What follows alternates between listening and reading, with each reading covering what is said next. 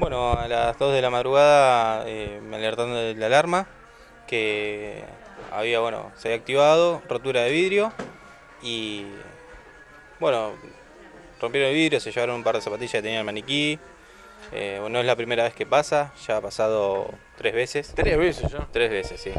Y bueno, la zona está bastante, no, no liberada, pero eh, no, no- no está muy cuidada. Es una zona que no pasa nadie, no está tan iluminado.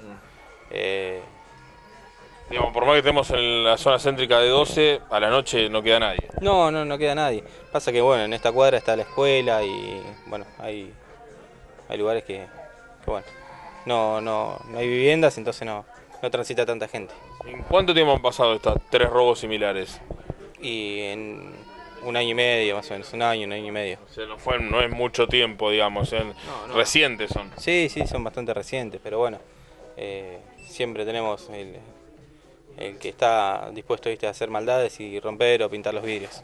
Eh, siempre para manotear alguna zapatilla, la, la mercadería que esté a mano, digamos. Sí, sí, totalmente. No, nunca han ingresado hasta el local. No, no, eh, no, creo que una vez ingresaron, pero bueno, eh, yo sinceramente no estaba. Siempre el objetivo es, digamos, la mercadería que queda a mano. Sí, sí, sí, por supuesto. Necesitan eh, que haya más presencia policial durante la noche, que, que pese a que ya no hay gente, que circule un poco. Sí, o presencia policial o iluminación o algún tipo de, de cámara o algo de eso. Porque bueno, eh, en esta cuadra ya te digo, no, no queda nadie.